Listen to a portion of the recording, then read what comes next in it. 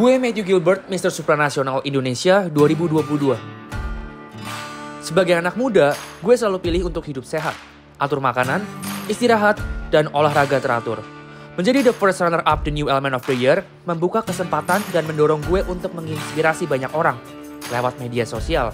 Apalagi menginspirasi untuk hidup sehat udah melekat sama hidup gue. Umur gak jadi halangan, kesempatan selalu ada. Gak merokok juga jadi pilihan smart gue. WHO menyebutkan bahwa 33,8% dari total penduduk di Indonesia adalah perokok. Hal ini membuat Indonesia menyandang peringkat ketiga sebagai negara dengan jumlah perokok paling tinggi. Mengikuti zaman, tren penggunaan rokok elektronik terus meningkat di kalangan anak muda.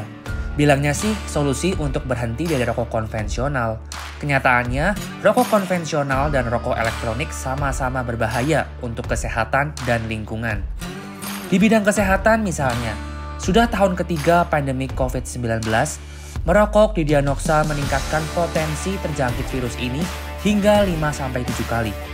Sedangkan menyangkut lingkungan, keduanya tergolong hazardous waste atau sampah yang mengandung zat kimia berbahaya.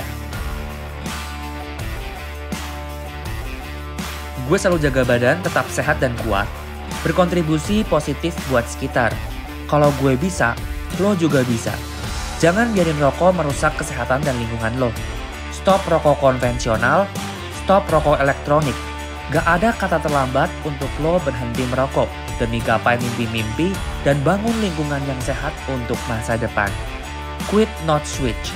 Karena gue kuat tanpa rokok, gue Matthew Gilbert Elman, trust me, it works.